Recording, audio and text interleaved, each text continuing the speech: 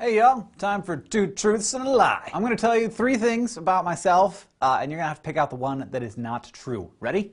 Okay. Number one, I have a machine at home that transforms plain water into carbonated water. Two, I'm really bad at the card game set. Or three, Michael Jackson is my aunt. Isn't that obvious? Yeah. God, so bad at game.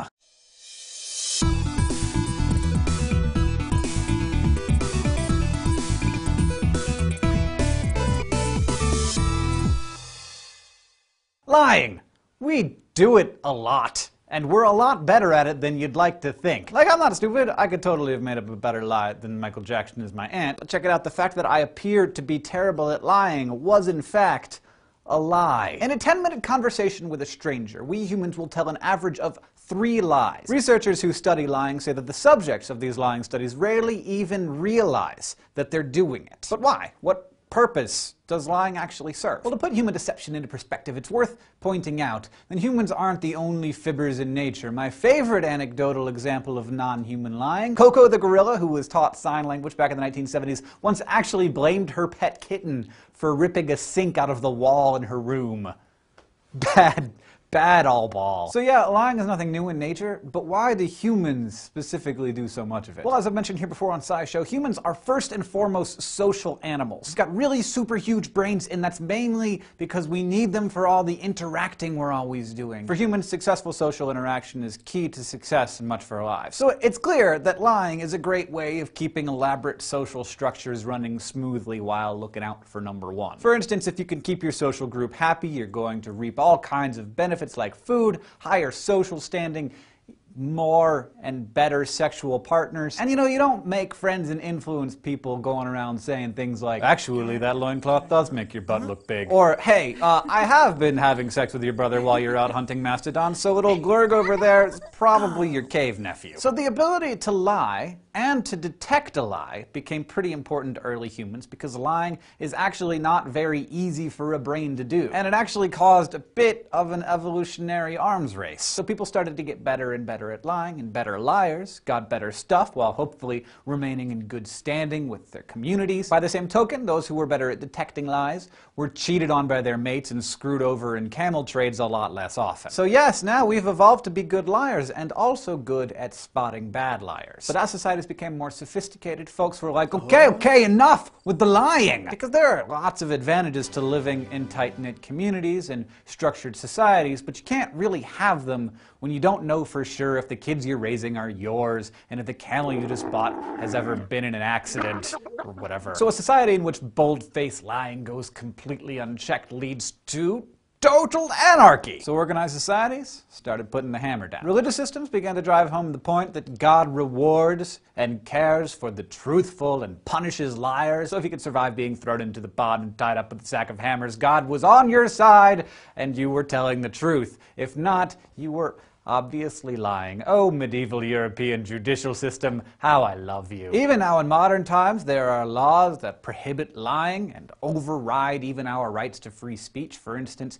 you go to jail for lying in a court of law, or for lying about having received a Medal of Honor for service in the armed forces. Don't do that. Also, because you're not a evil. Why would someone do that? So lying, it's not okay. But we're also good at it, and our brains want to do it. And we start lying really early. Some researchers say as early as six months old. I mean, you've seen a baby fake cry, right? It's very obvious. Like they're crying, eh, and then they like check to see if anybody's coming over to sympathize, and then they're like, oh, I'm gonna keep crying that. Scientists think that this is the time when babies are actually learning how to be better liars. By the time a kid's in college, they're lying to their mom about once in every five interactions, and actually that seems that seems low to me. I, I, would say five out of five for my college experience. Kids these days, actually kids every day. By the time we're adults, we've gotten so very good at lying that we're actually able to do it to ourselves very effectively. The trick to lying to yourself is in the holding of two pieces of conflicting information in your head at the same time and paying attention to one while ignoring the other. People who are good liars can hold a bunch of conflicting information in their heads all at once and keep track of it all. Take pathological liars, people who habitually and compulsively lie, cheat, and manipulate other people. The thing about pathological liars is that they're super good at self-deception.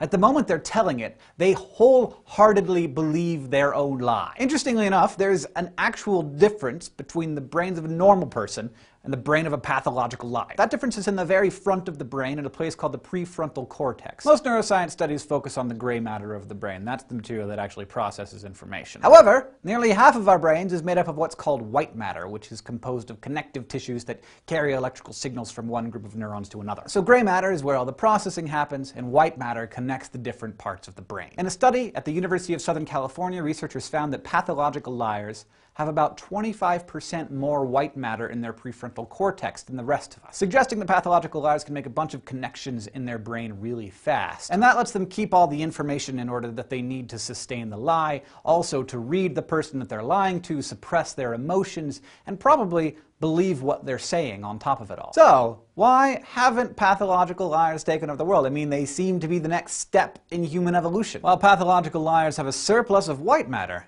they also have around 14% less gray matter than other people. And gray matter is where all the critical thinking happens. So the white matter is all like, I'm gonna tell Jim I used to be a fighter pilot. And the gray matter is all, I could tell Jim I used to be a fighter pilot, but I probably shouldn't because that would jeopardize my relationship with Tammy. So extreme liars have a really hard time maintaining relationships and holding down jobs because after a while everybody realizes that they're full of crap and they get dumped or fired which is not ideal for the person. It's great for everyone else. But if there are these super liars out there, how do we know if we're being lied to? And I mean, lie detectors might be able to pick up signals like change in the liar's voice or increased heart rate or sweating, all stuff that we do when we're fibbing outright. But a really good liar might not display any of those symptoms. Well, no matter how good of a liar you are, the fact that you are lying will often leak out, both through your body language and through your word choices. Let's look at a sample sentence. Believe me, I was not the one who farted and evacuated that movie theater. So do you believe me?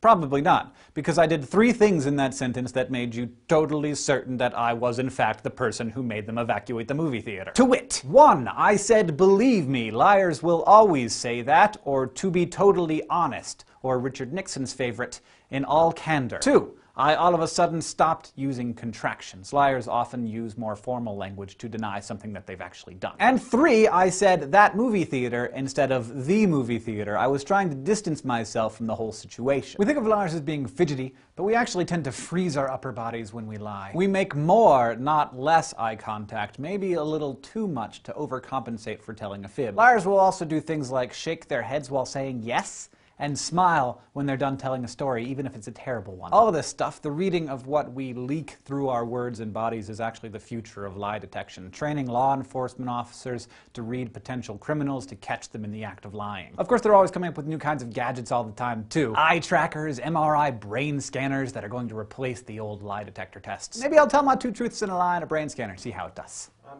pretty sure we all know how that's going to turn out. Yeah, you're right. I'm a terrible liar. What am I?